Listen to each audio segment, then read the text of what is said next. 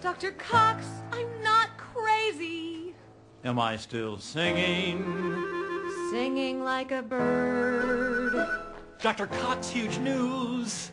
I pulled some strings and got the parking spot right behind yours. Bumper buddies. Still, you're not nearly as bad as her. Do you know how much you annoy me? The answer is a lot. Should I list the reasons why? Well, I don't see why not.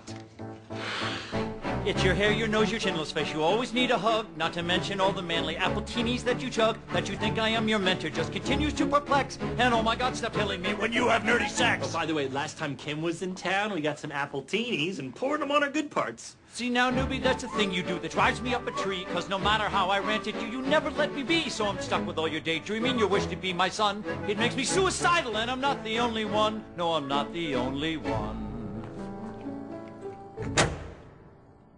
It all started with a penny in the door.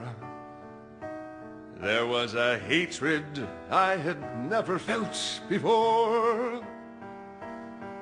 So now I'll make him pay each and every day until that moose-haired little nuisance is no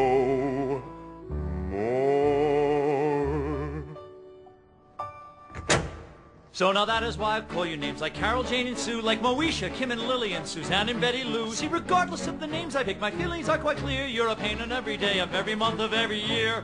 Dr. Cox, you gotta help me, cause I really am distressed. Can't you find another option? Won't you run another test? If you want some kind of favor, really any kind of favor, please just get me peace and quiet from this godforsaken pest. I think what my bumper buddy is trying to say Shut